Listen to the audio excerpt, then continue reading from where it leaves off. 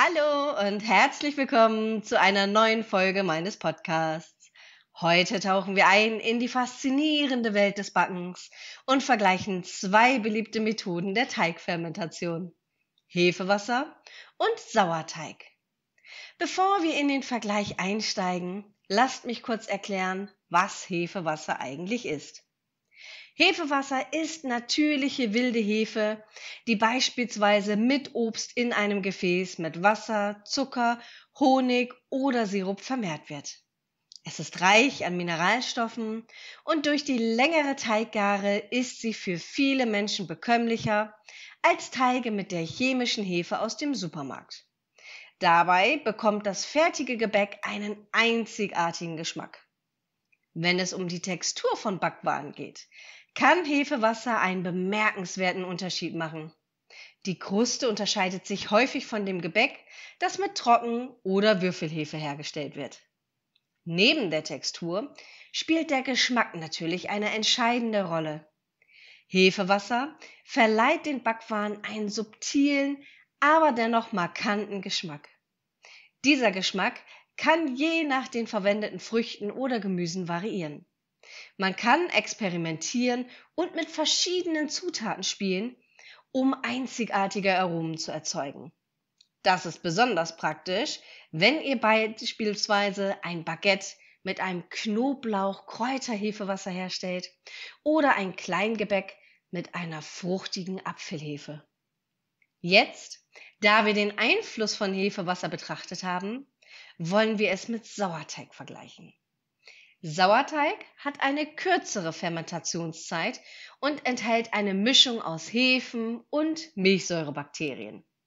Im Gegensatz zu Hefewasser hat Sauerteig einen kräftigeren und intensiveren Geschmack. Außerdem kann Sauerteig eine stärkere Säurenote in den Backwaren erzeugen und ist daher für süßes Gebäck eher ungeeignet. Dabei entscheidet die Temperatur bei der Herstellung und des Auffrischens ob sich eher die Milchsäure oder Essigkulturen vermehren. Eine Alternative stellt hier aber der milde italienische Sauerteig dar. Lievito madre. Das geht auch so schön von der Zunge. Dieser lässt sich sowohl in Broten, Brötchen und Baguettes verwenden, als auch in jeglichem süßen Gebäck. Die Entscheidung, ob man Hefewasser oder Sauerteig verwendet, hängt letztendlich von den persönlichen Vorlieben und dem gewünschten Ergebnis ab. Hefewasser eignet sich besonders für diejenigen, die eine leichtere Textur und einen subtilen Geschmack bevorzugen. Sauerteig hingegen bietet einen intensiveren Geschmack und eine spezielle Säurenote. Kombiniert ihr beides zusammen, habt ihr ein absolutes Geschmackserlebnis. Und wenn ihr nun wissen möchtet, wie ihr Hefewasser, Sauerteig und oder Lievito Madre herstellen könnt und leckere Rezepte hierzu noch haben möchtet, dann schaut doch gerne einmal auf meinem YouTube-Kanal vorbei. Da habe ich schon viele Videos für euch vorbereitet. Zusammenfassend lässt sich sagen, dass Hefewasser eine großartige Alternative zu kommerzieller Hefe ist und einen spürbaren Einfluss auf die Textur und den Geschmack von Backwaren hat.